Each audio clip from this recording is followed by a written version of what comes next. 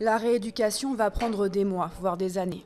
Comme Shadi, ils sont des milliers à venir réapprendre à vivre avec leur handicap dans cet hôpital réservé aux forces armées.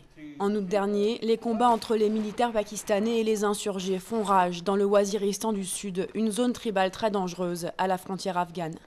L'unité de Shadi rentrait à la base lorsqu'une bombe artisanale a explosé au passage du convoi militaire, une arme de guerre souvent utilisée par les insurgés. Un soldat a été tué, 12 autres blessés, dont ce jeune père de famille qui a perdu ses deux jambes ce jour-là. On revenait d'une opération de recherche. Avec mon unité, on a arrêté 10 talibans et on en a tué 8. Il y a eu l'explosion, puis j'ai ressenti une douleur atroce. J'ai pensé à Allah et au prophète Mahomet car je suis resté conscient pendant plusieurs heures. Mes jambes ont explosé, c'est comme si j'avais pris feu. Encore aujourd'hui, je ressens des douleurs de brûlure. Depuis 2004, l'armée pakistanaise paye un lourd tribut à la guerre contre le terrorisme. Plus de 2795 soldats ont été tués, c'est plus que les pertes de la coalition internationale en Afghanistan.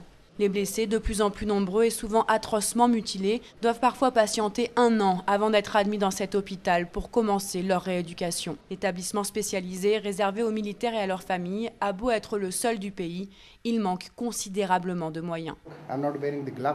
Je ne porte même pas de gants. Nous avons besoin de bien plus d'auxiliaires médicaux, de bien plus d'infirmières, et nous avons besoin d'un personnel spécialisé comme il peut l'être dans les autres pays. Vous savez, la rééducation est un travail d'équipe. Un docteur ne peut pas rééduquer un patient à lui tout seul. Comme Shadi, de nombreux soldats amputés vont dire adieu à leur carrière militaire. L'armée qu'ils ont héroïquement servi promet de les aider dans leur reconversion professionnelle et de payer les prothèses et les soins médicaux. Les plus gravement blessés vont pouvoir prétendre à la plus haute compensation financière, soit 2500 euros, près de deux ans de salaire pour un soldat au Pakistan.